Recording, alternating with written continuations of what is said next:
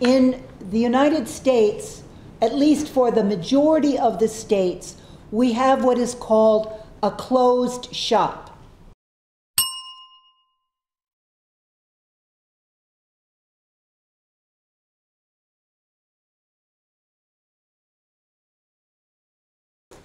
So there is one union at a workplace, and that the dues for the union are taken out of the check that the worker receives before the worker receives it, and it is given to the union. This was won basically during World War II, and it shows how there could have been a bureaucratization very early in the US union movement through this mechanism of the closed shop. But the right wing chose to attack the closed shop with what is called the open shop that you have the right to belong to the union or not, and that there will be no dues taken out of your paycheck. That is something the union movement will have to do on its own. So this, these, the open shop took place primarily in the South. But in the last few years, it has come to the north. It has come to Wisconsin, Indiana, Michigan, the industrial heartland, and my, my city is Detroit, Michigan. So we also are now an open shop state.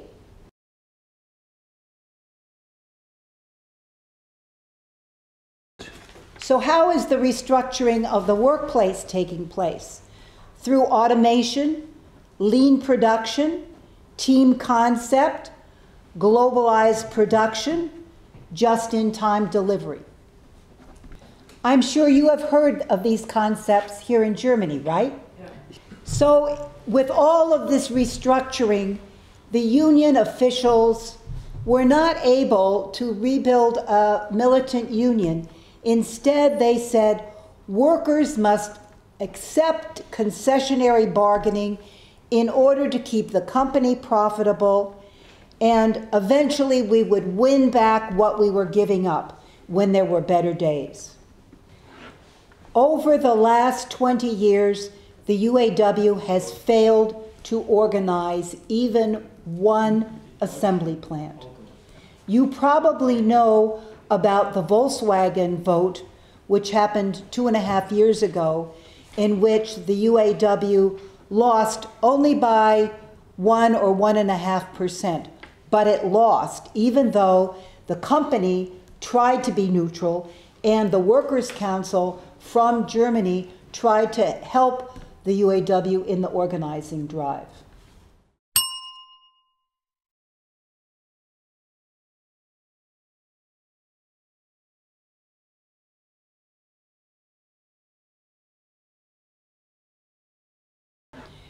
At the beginning of this month, August, the, there was a vote at the Nissan plant after a 12 year campaign, and the UAW lost the vote by 62%.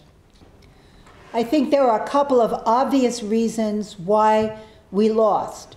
Number one, Nissan had a very aggressive anti union campaign. They had meetings, in plant meetings, they had one to one conversations. They had videos circulating in the break room.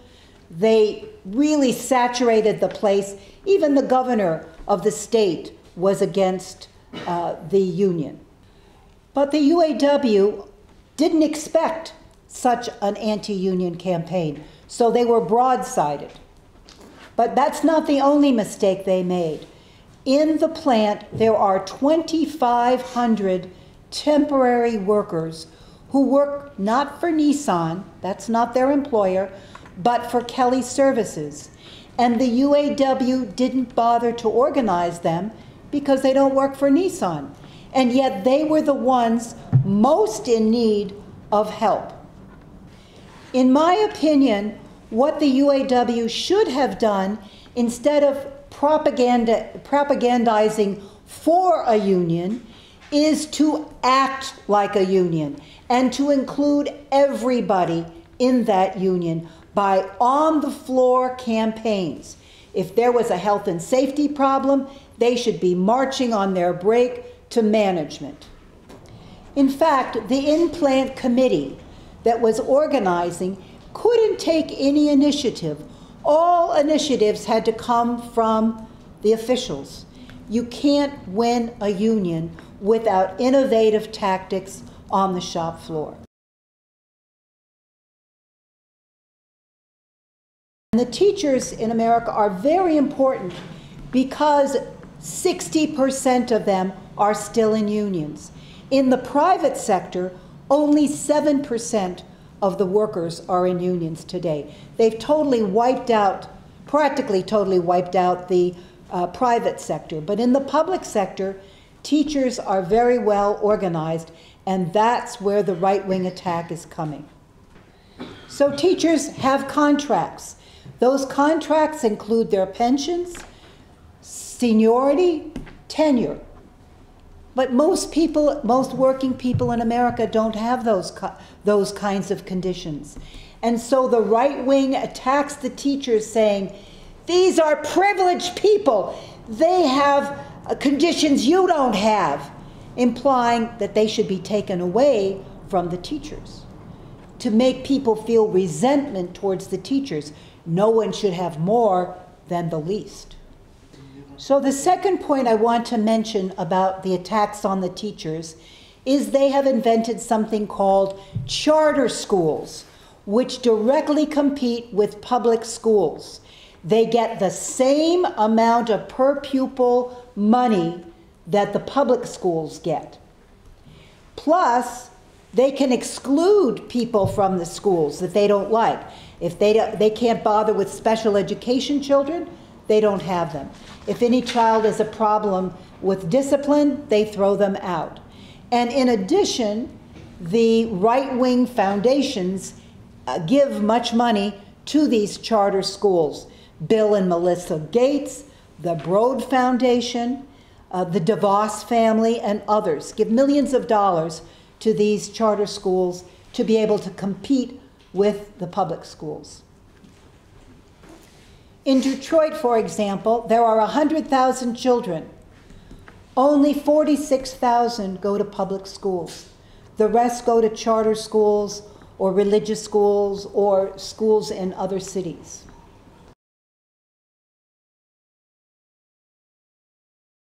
So, what I'm trying to point out is that the restructuring and the attack on unions and our social institutions predate Trump.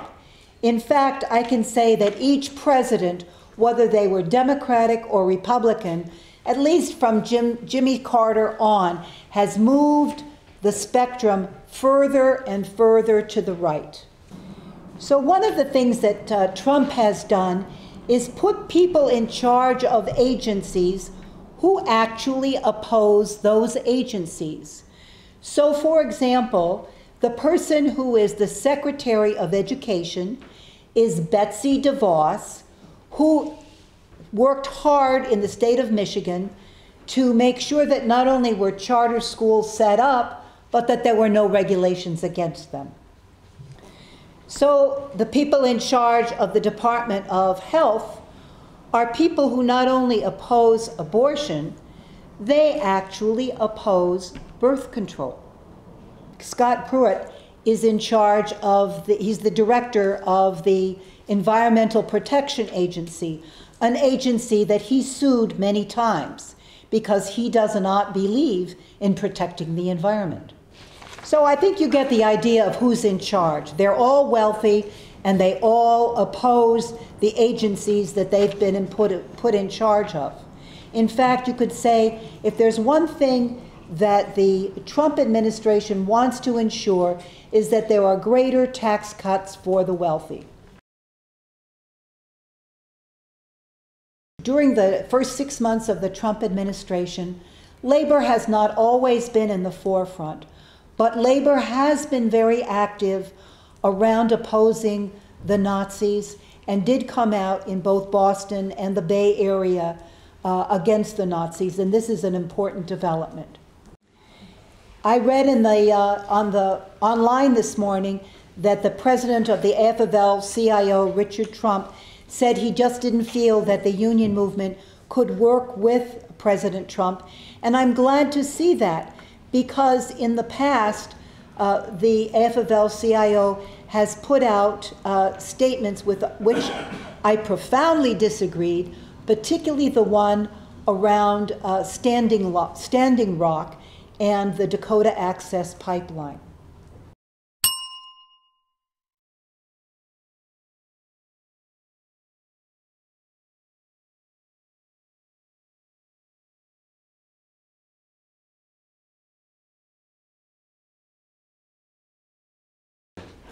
So labor has a great deal of work to do. One of the most important things, I think, is that we have to be part of the environmental movement.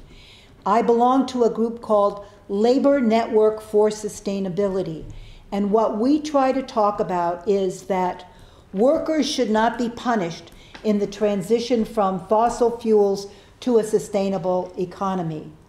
And it's easy enough to do that because we have to make the corporations and the government pay.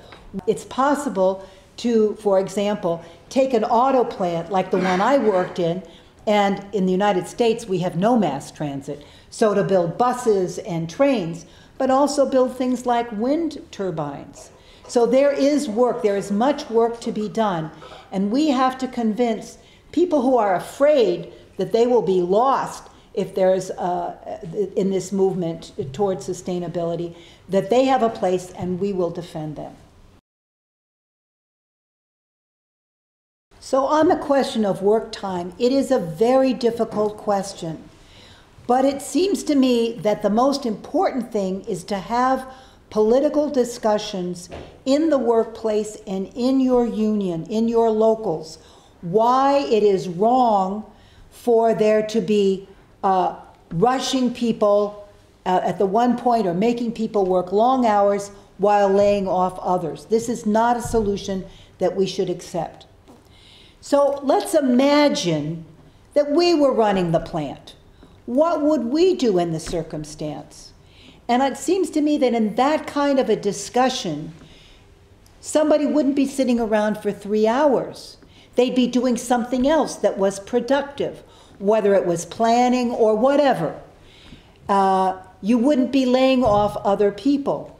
Uh, you might be educating them, you might be reducing the work week, but how could we begin to implement this at the workplace? Next to the strike, our most powerful tool is work to rule. It's impossible to carry out work to rule in a plant unless everybody knows and everybody agrees to participate because you are working but not producing. So you are working the plant backwards. And you have to do it in a coordinated way, and you have to do it so that you're protecting each other. So you have to begin with political discussions at your workplace and in your union, and it's difficult. I know in the United States it's very hard because people want to work more than 40 hours. They want to be paid extra because there's always money on the floor that they will want to pick up.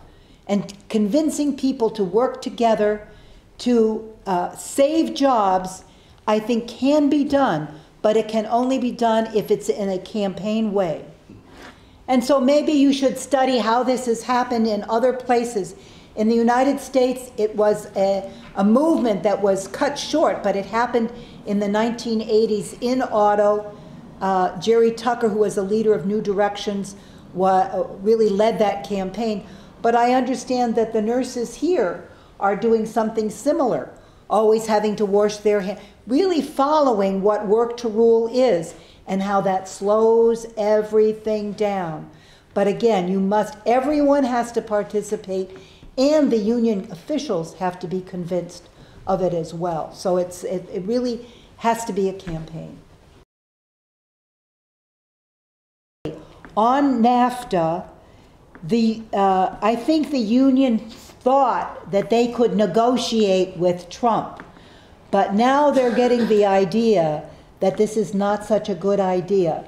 And the fact that the AFL CIO director said this morning we don't think we can work with Trump is a good sign to me because nothing will, good will come from NAFTA. It will get worse, not better.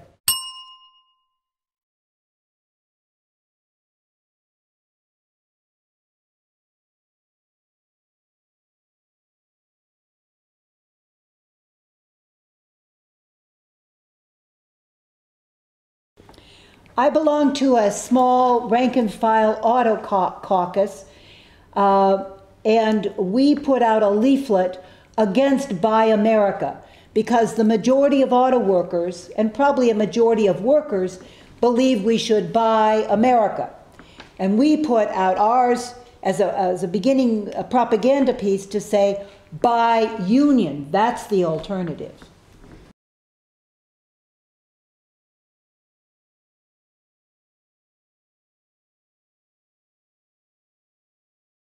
Are there other forms of organizing that we should be promoting uh, as opposed to the bureaucratic unions that we're stuck with? I think if we can do it, great. But I believe that we'll also have to transform our own bureaucratic unions. In fact, there has been for, uh, I don't know, at least a decade, a new form of organizing called workers' centers. And uh, that is a good form, especially for uh, undocumented workers who are not getting paid for their work. A lot of good work can be done by that, but it really doesn't replace the union.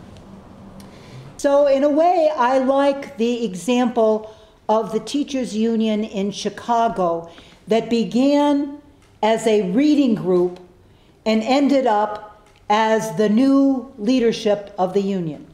So, how did they do it? Number one, they were democratic, and that's key. Number two, they decided that when parents wanted to prevent a school from being closed or had some other issue, they would go and support the parents.